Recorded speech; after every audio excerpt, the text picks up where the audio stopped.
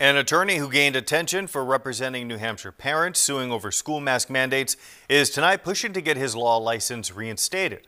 Robert Fojo had his license suspended for allegedly mishandling clients' money.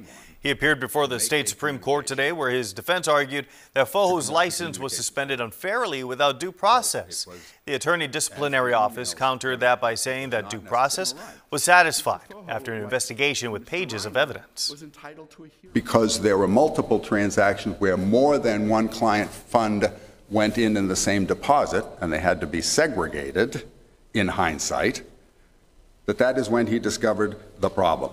Mr. Fojo does respond, and he basically tells us he didn't realize he had the money. All right?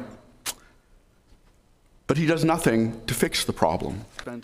The defense team also says that Fojo's new assistant was in charge of contacting clients about payments, and that's where the discrepancies occurred.